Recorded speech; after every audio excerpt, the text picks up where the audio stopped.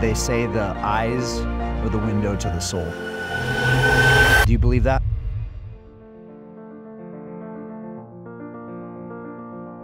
They say there are more stars in the universe than there are grains of sand in all the beaches in all the world.